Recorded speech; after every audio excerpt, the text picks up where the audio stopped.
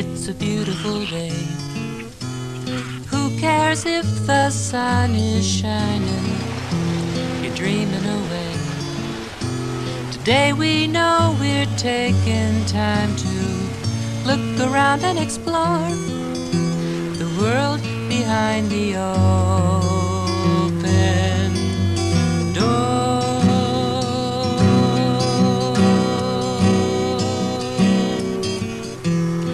Lost in a day, there's no telling what may happen. You wander away. The next thing you find is adventure. It's time to explore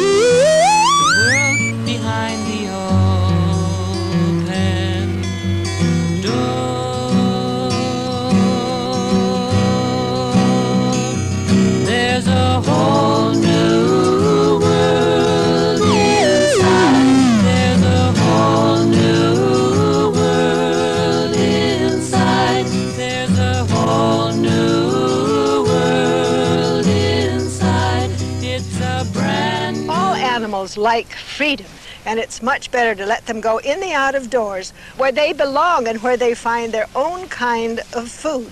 Down on the beach, we will find mussel shells. And Mr. Raccoon lives here in the grass and in the shrubbery, and he goes down at night to eat mussels for his supper.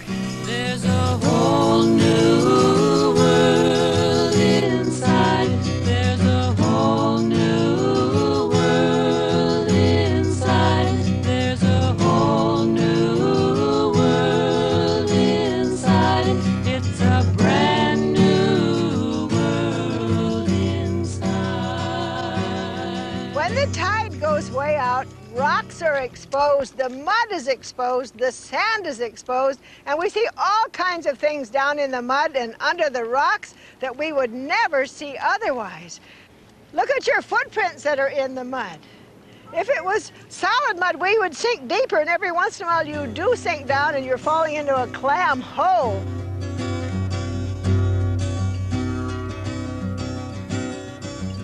Look at all the other things that have washed in. There's a seagull waiting to eat some trash that might come in because he's got a big job to do. There goes another gull, and there's a duck because the ducks are just beginning to come. They get tired out in the water once in a while, and they walk along the mud flats to rest.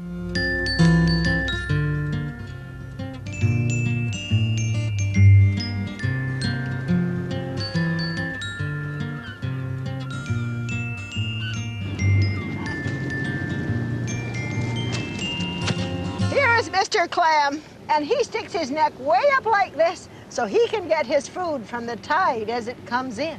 Look, look, look, he's squirting. he got me. There it is. No, here he is. Look. Is he coming That's back? it. Oh, he's not that brave. Sometimes if you dig fast enough, you can get him. Clam! Clam! Because he goes down very, very fast. You got him? Yeah. Now feel the muscle along the edge there. Now feel the lines on the shell. This makes it a clam shell.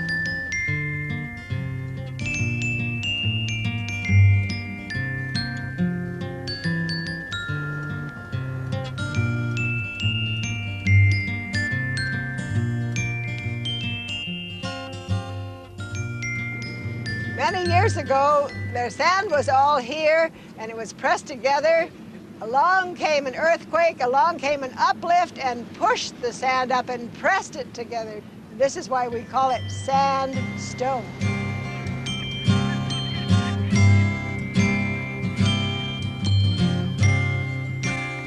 Look over there on the shore. There's a gull. And just beyond the gull is a snowy egret. Now he's standing in the water. He has long legs. Now watch that egret. He doesn't stand still very long. He says, I'm looking for my food. And he wiggles his feet around in the mud so he can find a clam worm or he can find a little amphipod or isopod walking along there. Now there's an egret that's bigger than that, that has a yellow bill and black legs and black feet. And he has big wings and he pulls the wings to him when he flies. And he is a common egret or American egret. And he's the one that has those very beautiful feathers that ladies used to wear in their hats.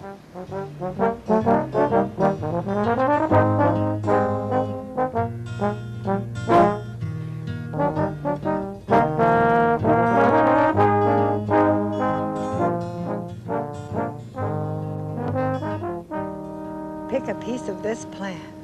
Do you see that it looks like a lot of little pickles all joined together? Pickleweed. Now I'd like you to bite it and taste it. And can you taste the salt in it?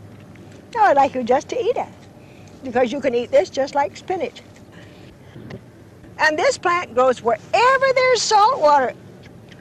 There are a lot of beetles down here. Let's look through the pickleweed and see who else lives here. Because the ants should be here and Big the spider. got a big spider. This is what Mrs. Meadowlark has for lunch. Isn't she beautiful? She's going to have all the little insects that live here, the tiny little flies that come by. She's going to have those for lunch, and she spins a beautiful web.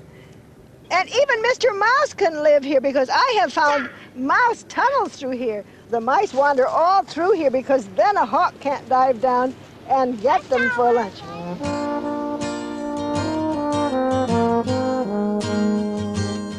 I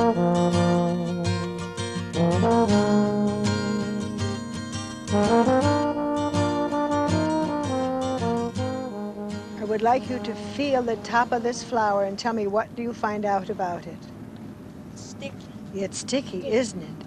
Now then, I'd like you to feel around the base of the flower and tell me what you find out about the base of the flower. Sticky. Squeeze it. It's sticky too. Because of this, it's called a gum plant. And you see where it's growing? It's just above the most of the salt water, but it says I always like a lot of salt water around me, and so it's just at this level above the pickleweed that you'll find.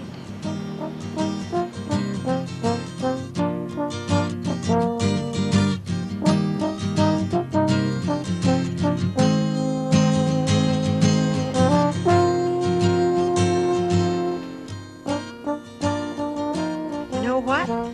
Someday you're going to go on a hike and you forgot your lunch and you're so hungry you think, oh, I think I'll just die if I don't get something to eat. You look around and find a dry stem like this of fennel, but be sure that you look at the leaf and see that it's like this and it tastes like licorice. And then take your dry stalk and peel off the outside. Then after you get it all peeled off, break off that pithy part, put it in your mouth, take a dry seed and put it in your mouth and chew it with that pith, and that's Indian chewing gum. Chew it and chew it, and pretty soon you're not hungry anymore.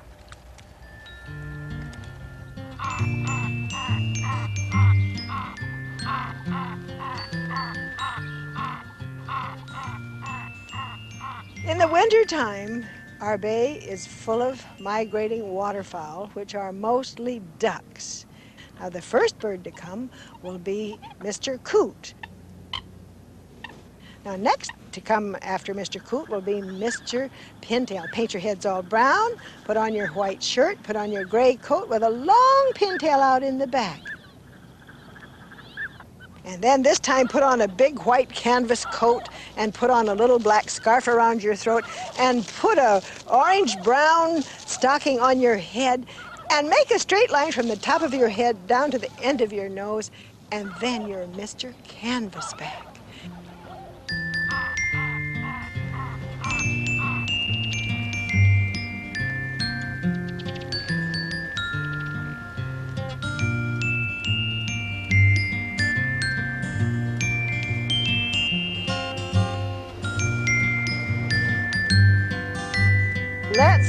Lives here. There's Mr. Barnacle, Mr. Musselshell. Anybody home? Oh, look, a whole family of crabs. And isopods, too. There are little isopods. Hold your hand, and I'll flat, and I'll put an isopod in it. Hold your hand real still and see if Mr. Isopod will open up. He's scared, so he's all curled up like a ball. My guy opened. Hold him real still. Watch him walk. Now, he can't hop and he can't jump. He just walks.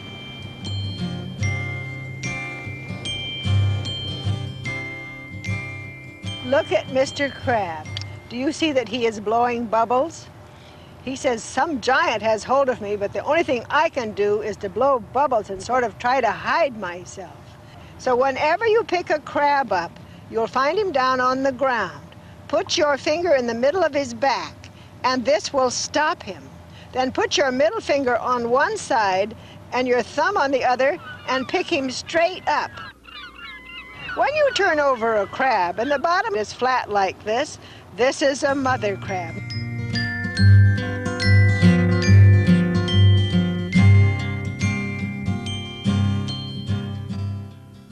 When you go to the beach and you find a rock, many things live under it clams and crabs and periwinkles.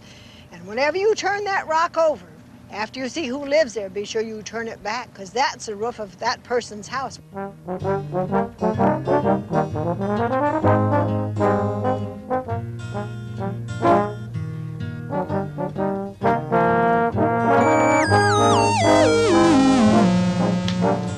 Hey, Laura, look, the door.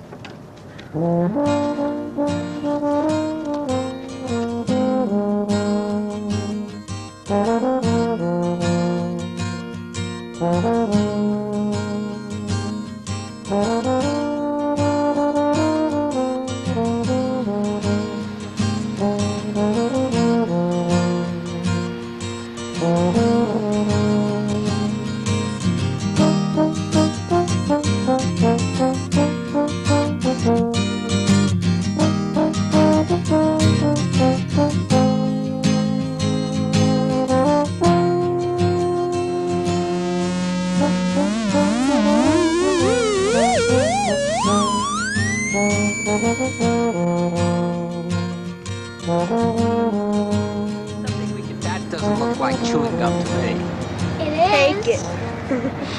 Is that good? You put some seeds out. Got it.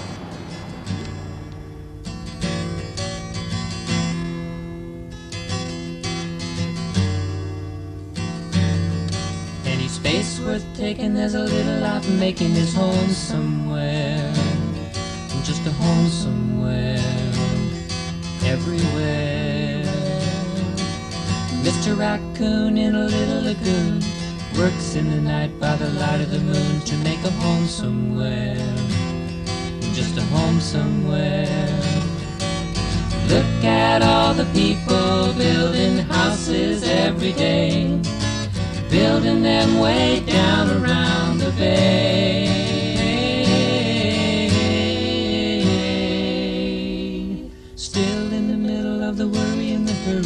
Egret flies and the raccoon tries to make a home somewhere. Just a home somewhere. To make a home somewhere. Just a home somewhere. Just a home somewhere.